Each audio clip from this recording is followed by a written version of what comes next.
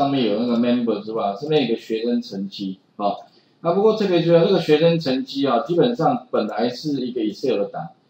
其实有时候哈，如果 Excel 档要怎么处理比较简单哦？其实那 Excel 档你最简单的方法不外乎就是，如果在 Python 里面哈，当然如果你不加任何外挂的话啦，哦，你如果说呃你要，要不就是装一个外挂，那个外挂现在我们还没讲到，而且还没挂进来，所以要处理这个档会比较麻烦。但如果你不想要做任何外挂啊，也能够读取这个档，你只要怎样呢？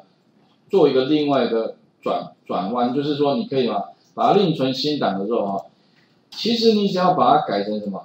改成 CSV 就可以了。OK 哈，用 CSV 的话哈，其实它就可以直接读啊。这个 CSV 哈，基本上。它当然，你把它点两下，它一样会用那个 Excel 打开。不过它背后呢，实际上哦，就是一个纯文字，只是说它的副档名是 CSV 而已哈。那我们这一题来练习一下，说第一个啊，我们把这个 H，我们不用用 Excel，我们直接拿那个云端上面的，我云端上面有放一个那个呃练习档，好在这里。那你把它打开来，好，点两下打开，打开之后的话哈。那它这里面就是有姓名啊，总共会有八个学生，他的国文成绩、英文、数学。那当然我是希望怎么样？你把它下载下来，然后呢，把它做一个输出，它的总分跟平均的报表。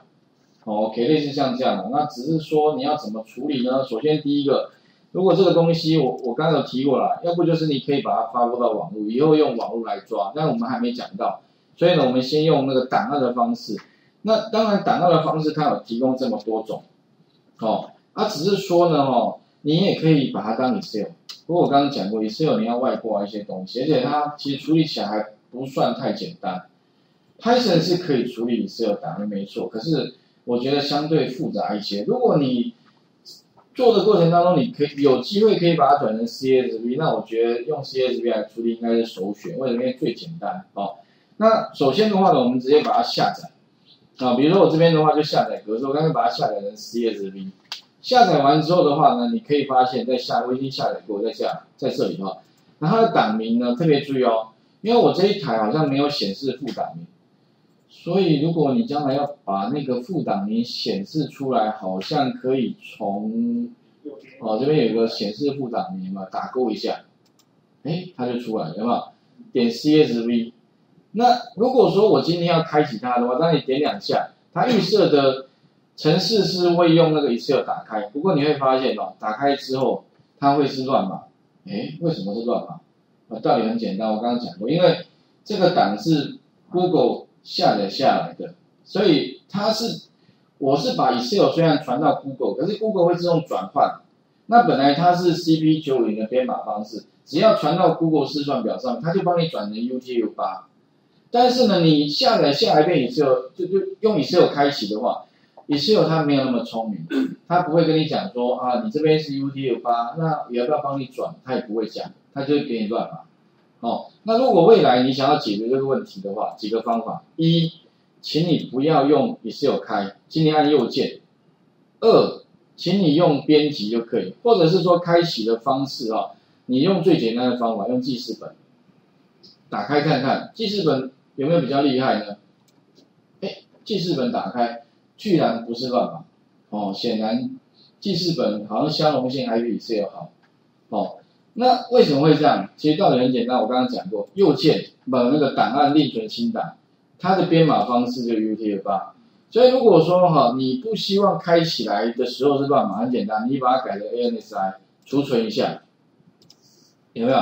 你再用 Excel 再开一次，你会发现。就正常了，也没有，就是这个道理而已啦。其实没有很复杂，只是说两边就没有沟通好，对不对？哈，Google 跟微软是不是应该坐下来好好讨论一下？哎，以后是不要让 user 端那么麻烦，不然的话，光这个问题很多人就真的是头痛，哦，不知道为什么，其实就很简单，就这个问题而已哈。那只是说，如果我今天呢，当然我们练习的话，假设我要开它的话，哦，我一样啊，我还是把它。把它再改回来，我们就用那个 UTF-8 来来处理。那如果说我今天呢，如果我把它恢复成原来的状态，然后呢，能够把它在 Python 里面开的话，那当然请各位试一下。第一个一样怎么样？我是 open 它，位置跟他讲，副档名记得要给他哦，点 CSV 哦。OK，如果你没有给点 CSV 的话，你直接给路径哦，它出来会怎么找不到档案？有没有？File not found。OK，所以你记得哦，给他这个档名后面记得加一个点 CSV 哦，没有副档名也会抓不到。OK，那再来就读取 encoding 我们一样，因为我把它改回来用六六八。再来的话呢，我就把它全部读进来，好，读到一样了，其实程式跟刚刚一样啊，一样后面一样会有个换行，所以我把它去不掉，哦啊，这样的话就可以把这个国文、英文、数学全部读进来了。只是说后面哈，请各位自己练习好了，后面请各位再加什么？加什么？哎，国文总分多少？平均多少？英文总分多少？平均多少？数学？哦，哎，它这地方刚刚只有一个串列，现在的话呢，就必须怎么样？只要一栏，请各位注意哦，你就要有一个串列。OK，好像没有更好的方法。OK，因为没办法，因为 Excel 里面是可以很多栏，哦，那在 Python 里面呢，就必须很多个串列。哦，OK，那请各位也许试一下啊，来画面先还给各位哈。第一个呢，一样找到那个云端白板有一个叫学生成绩。第二个的话，请你把它下载成 CSV，OK 啊，CSV。那它预设因为是丢到 Google 试算表，所以是 UTF-8，所以你就把它试着怎么样，把它读进来。然后我希望看到是给我一个，呃，比如说国文成绩的的总分加平均的报表啊。那国文、英文、数学它的总分跟平均各是多少？哦，